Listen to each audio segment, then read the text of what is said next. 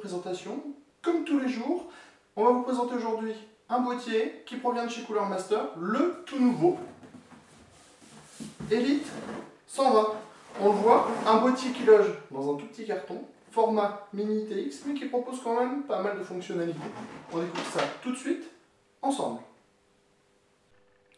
Aujourd'hui, comme le boîtier est relativement petit en taille, on va se permettre de le prendre de très près, et donc avec un relativement gros zoom. On s'installe carrément à côté sur la petite table et on va découvrir donc ce Elite 120, un boîtier de 3,3 kg qui est compatible mini ITX, mais vous allez le voir, pas seulement, on va pouvoir mettre de la très grande carte graphique, genre une 500, une 680 passera sans problème, une 690 aussi, ça vous donne un petit peu les caractéristiques de ce boîtier.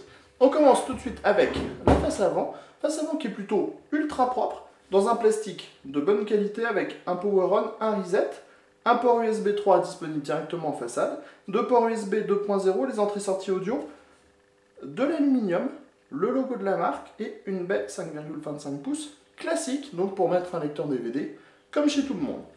Sur le côté, on voit, on a du noir, comme sur le dessus, comme de l'autre côté, conception unibody pour le capot supérieur.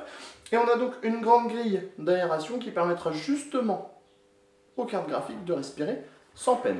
Sur le dessus, on le voit, également une grille d'aération avec du mesh en dessous pour filtrer les plus grosses poussières. L'autre côté est similaire au côté gauche. On a de nouveau cette grille qui permettra cette fois plutôt à la carte mère de s'alimenter un petit peu en air frais. On passe à l'arrière. Alors l'arrière, la première chose à remarquer, c'est ce déport au niveau de l'alimentation qui permet justement de gagner de la place en interne. Cooler Master a décidé de faire ça pour qu'on puisse installer des alimentations de type standard dans le boîtier. Au niveau des passe-cloisons, on en trouve un. Ici, on a deux slots d'extension montage par vis à main, une petite grille d'aération, l'emplacement pour la plaque IO-Shield de la carte mère. On passe tout de suite sous le Elite 120. Sous le Elite 120, on voit, on a les pieds qui sont en plastique dur. C'est un peu dommage, des petites rondelles en caoutchouc n'auraient pas été inutiles. On voit ici qu'on a quelques vis, donc c'est pour un support pour un ventilateur, puisqu'on a un ventilateur en interne. On va tout de suite passer à l'intérieur pour pouvoir découvrir l'architecture interne qu'a choisi Cooler Master. Nous voilà donc à l'intérieur de ce Elite 120. On voit, on a une architecture plutôt mini TX assez classique. Allez, on commence sur le dessus avec justement l'emplacement 5,25 pouces pour le lecteur optique et ici la place pour l'alimentation et en dessous la carte mère mini ITX. On va passer sur le côté, histoire de ramasser la petite prise Molex. On trouve tout d'abord le système de montage sans vis au niveau du lecteur ça c'est plutôt très très bien, c'est une très bonne chose.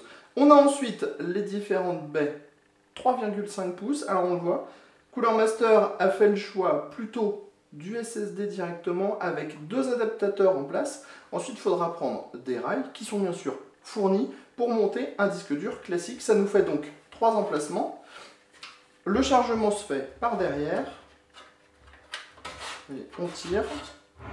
On a ici les adaptateurs et on a donc ce type de rail pour monter le dernier disque dur.